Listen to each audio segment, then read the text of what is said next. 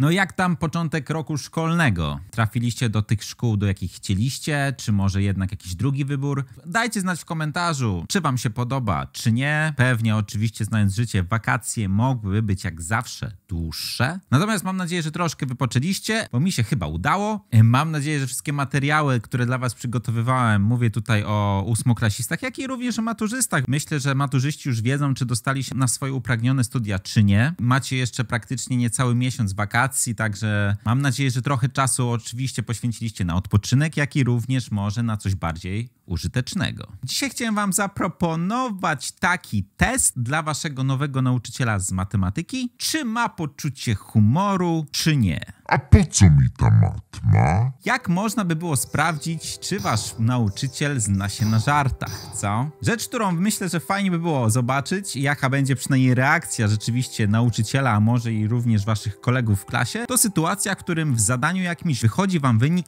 1 tylko nie zapiszemy go jako 1. Załóżmy, że macie na przykład w ramach powtórki po e, szkole podstawowej po prostu równanie do rozwiązania typu 4x załóżmy minus 2 e, równa się 10x minus 8. O, takie równanie macie do rozwiązania, no i oczywiście rozwiązujemy. 10x na drugą stronę, czyli 4x minus 10x, minus 2 na drugą będzie minus 8 dodać 2, no i po lewej stronie 4 jabłka minus 10 jabłek to będzie minus 6 jabłek, a po prawej stronie minus 8 plus 2 to będzie minus 6.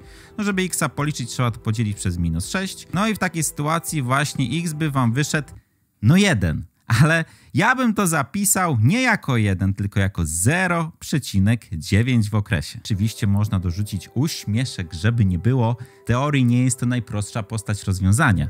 Natomiast o co chodzi? Chodzi o to, że 0,9 w okresie, czyli sytuacja, w której macie 0 i nieskończoną ilość dziewiątek po przecinku, tak naprawdę jest równe 1. Ciekawy jestem, y, jaka by była reakcja nauczyciela na coś takiego. Natomiast jeżeli chcecie oczywiście w ten sposób się tutaj bawić, to wypadałoby wiedzieć, dlaczego 9 w okresie tak naprawdę jest równe 1, więc na szybko taki dowodzik. Natomiast dla tych, którzy ewentualnie by chcieli już do przodu nauczyć się zamieniać ułamki zwykłe na ułamki okresowe i odwrotnie, to tu trzymajcie link do mojego materiału z tamtego roku. Jaki jest sposób na taki dowód? No załóżmy, że właśnie przyjmiemy sobie, że jakaś nasza niewiadoma x jest równa 0,9 w okresie. Żeby udowodnić, że to 0,9 w okresie jest równe 1, należałoby to pomnożyć przez 10 obustronnie. Po lewej stronie oczywiście dostaniemy 10x, a po prawej stronie no przesuwamy przecinek o 1 w prawą stronę, czyli tak naprawdę zrobi się 9, przecinek, znowu nieskończona ilość dziewiątek,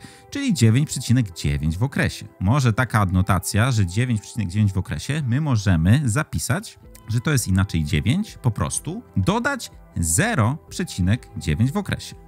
No mam nadzieję, że to jasne. Tak, do dziewiątki dodamy 0,9999, no to będzie 9,999. No i teraz patent polega na tym, tak jakby tutaj już zostawiamy sobie to na chwilę. Patent polega na tym, że od tych 10x chcemy odjąć po prostu x. No i jak to zadziała? Za nasze 10x za nasze 10x wstawimy już od razu tą formę, czyli to 9 dodać 0,9 w okresie, tak?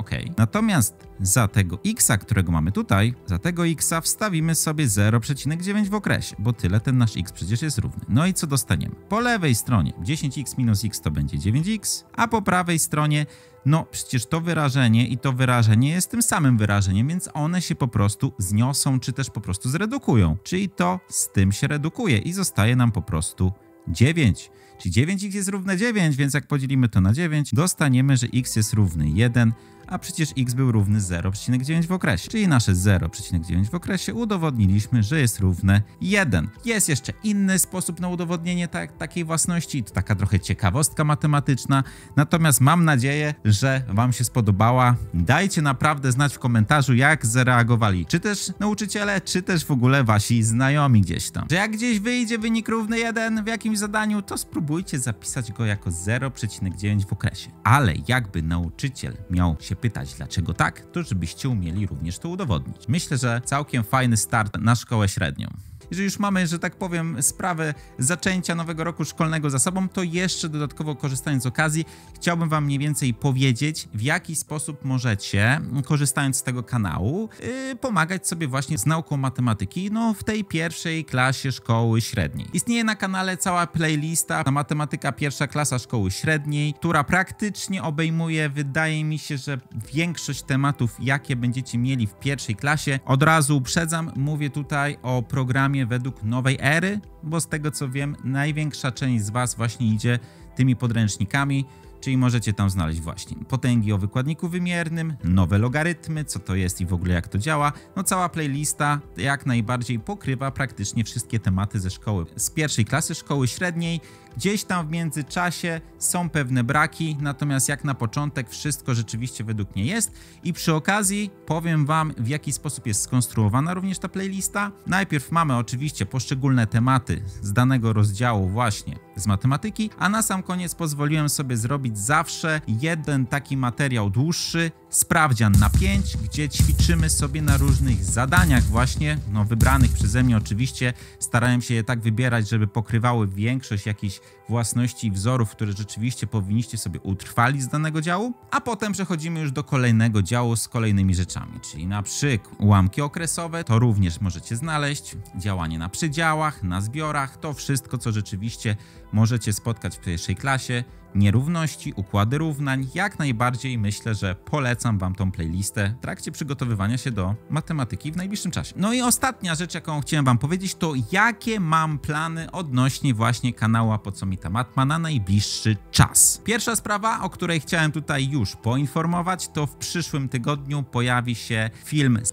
moimi polecajkami książkowymi z matematyki, Myślę, że na każdy poziom edukacji coś fajnego znajdę, bo znajdą się tam tytuły zarówno dla, dla uczniów ze szkoły podstawowej, jak i dla uczniów ze szkoły średniej, jak i również dla ubiegłych maturzystów, którzy w jakiś sposób teraz idą na studia techniczne, gdzie ta matematyka wyższa również się pojawi. Dodatkowo również pojawią się tytuły takie, bym powiedział, bardziej luźne. Myślę, że tak naprawdę na każdy poziom edukacji będą fajne. Oczekujcie materiału w przyszłym tygodniu i od razu mogę powiedzieć, że możliwe, że jakiś konkurs się też pojawi. Także bądźcie czujni. Także to taki plan na przyszły tydzień, natomiast w następnych tygodniach, czy też pewnie również miesiącach, będę się starał tutaj uzupełniać przede wszystkim materiały na playlistę na drugą klasę szkoły średniej. Tak, wiem, większość z Was, którzy przybyła na ten kanał, jest po ósmej klasie. Natomiast, tak jak mówię, materiałów pod pierwszą klasę szkoły średniej myślę, że jest naprawdę na tą przynajmniej chwilę wystarczająco dużo. Gdzieś tam w tym roku szkolnym również będę uzupełniać niektóre rzeczy.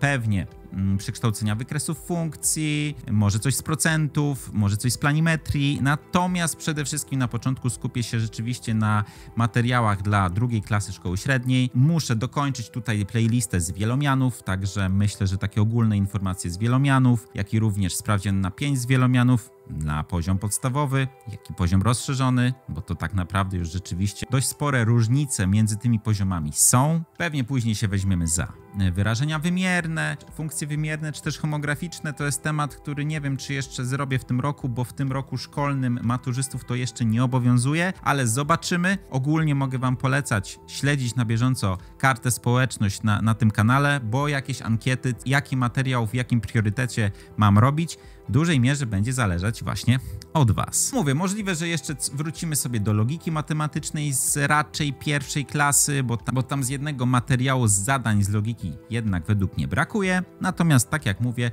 patrzcie po ankietach, głosujcie, no, a materiały, które będą najbardziej potrzebne, będą tutaj w priorytecie na kanale. Także mam nadzieję, że trafiliście na fajnych nauczycieli z matematyki. Mam nadzieję, że docenią mały triczek na jedynkę. Zobaczymy. Nie byle nie jedynka ze sprawdzianu. Mam nadzieję, że może chociaż ktoś jakiś plusik zarobi. Także przede wszystkim życzę Wam przyjemnej nauki w szkole średniej, tak żeby to nie była dla Was droga przez mękę, tylko jednak w jakiś sposób ciekawe i nawet przyjemne doświadczenie. Miłego dnia życzę i do usłyszenia w przyszłym tygodniu. A po co mi ta matma? A, jeżeli byście chcieli troszkę zaplusować również w tej pierwszej klasie szkoły średniej, to tu trzymajcie mój materiał z tamtego roku właśnie jak zabysnąć w pierwszej klasie szkoły średniej.